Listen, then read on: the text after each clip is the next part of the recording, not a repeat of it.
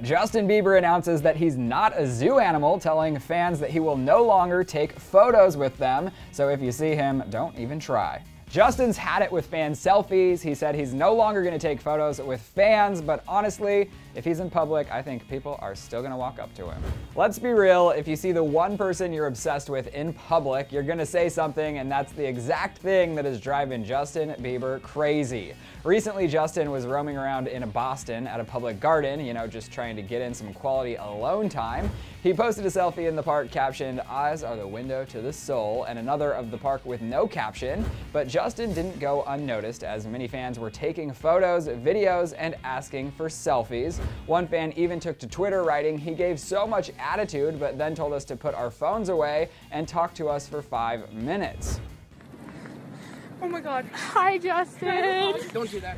So in the video, you could hear Justin saying, don't do that. And I mean, for a good reason. I can't imagine walking around a park and having everyone filming you while doing basically nothing. Moving along, last night, Justin was at a bowling alley and I guess a fan basically cornered him, demanding a photo, implying that Justin owed him a photo because he had bought Justin's albums. Apparently, Justin was at his breaking point because later that night, he took to Instagram writing, if you see me out somewhere, know that I'm not gonna take a picture. I'm done taking pictures. It has gotten to a point that people won't even say hi to me or recognize me as a human. I feel like a zoo animal and want to be able to keep my sanity. He continued by saying, I realize people will be disappointed, but I don't owe anybody a picture. And people who say, but I bought your album, know that you got my album and you got what you paid for, an album. It doesn't say in the fine print, whenever you see me, you also get a photo. He he later took a screenshot of a fan calling him a prick, saying that the fans are the reason Justin is so successful, saying that he's sure his life is annoying, but it's what Justin had signed up for. So Justin, he posted that photo